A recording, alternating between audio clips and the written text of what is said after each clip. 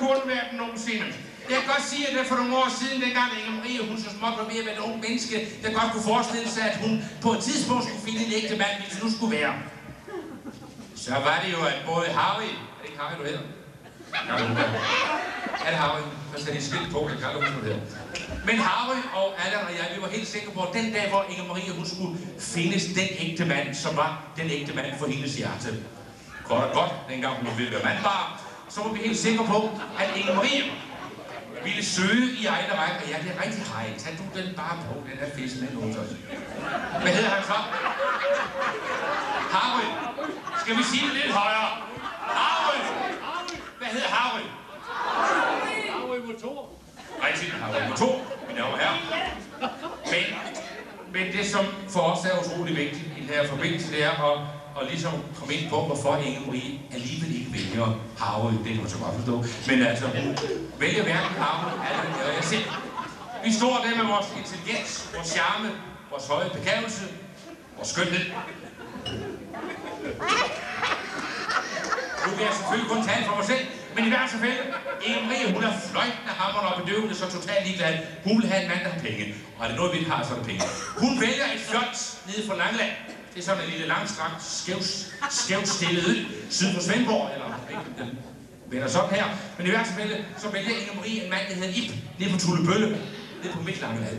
Bare fordi han har 2,5 millioner stående i sparkassen dernede i Rødkøben. Det er nok. Det er nok til, at den ægte kærlighed, vi står for her i Drasinebanden, den bliver smidt til side. Jeg ved ikke, om nogen af de her har følt det på et tidspunkt.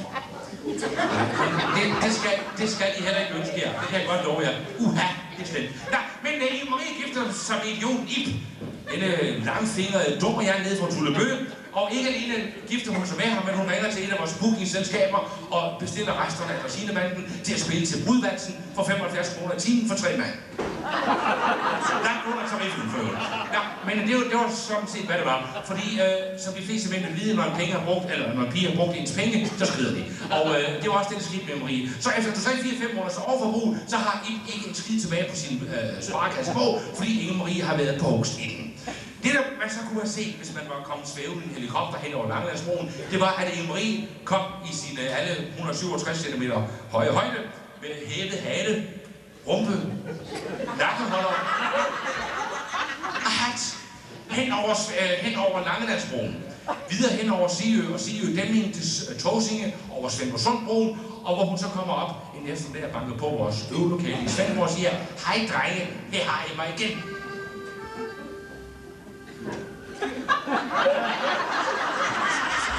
Kunne vi da godt se.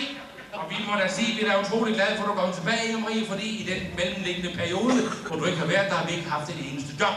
Så selvfølgelig er drengene glade for, at du er tilbage. Men det vi gerne vil bede jer om nu, her på denne højhellige jubilæumsfest, her i Torben Samthus, det er, at I sammen med os udbringer et trefoldigt fy for Inge Marie. Jo, nej, nej, nej, nej. Og vi lige snakke om det først. Altså, det er kun forslag. Altså, det som jeg synes, det er, det er så utrolig forkert, at når kvinder, kvinder, de skal sgu ikke øh, rejse fra deres job. De har at være, hvor de hører hjemme, og Inge Marie hører hjemme i Drasineband. Er det ikke en god idé, damer og herrer? Derfor synes jeg, at vi skal give Inge Marie en lille diskret vognstang over hendes næse, så hun aldrig gør sådan noget en gang til. Så, mine damer og herrer, sammen med os håber vi, at I vil udbringe et trefoldigt fy for Inge Marie.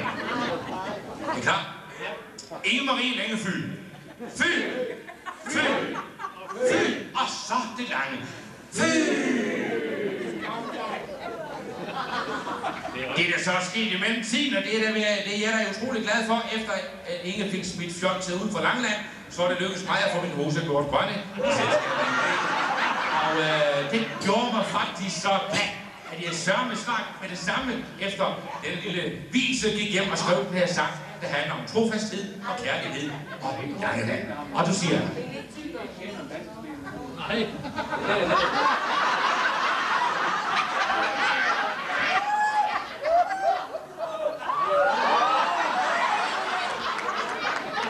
så er det nok.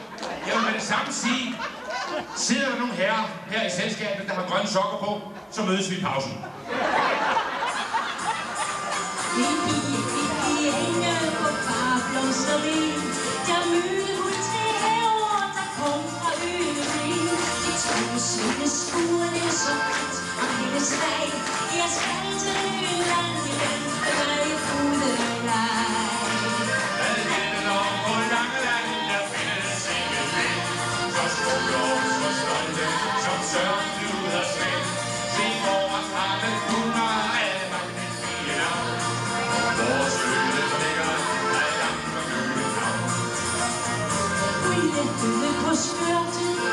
see.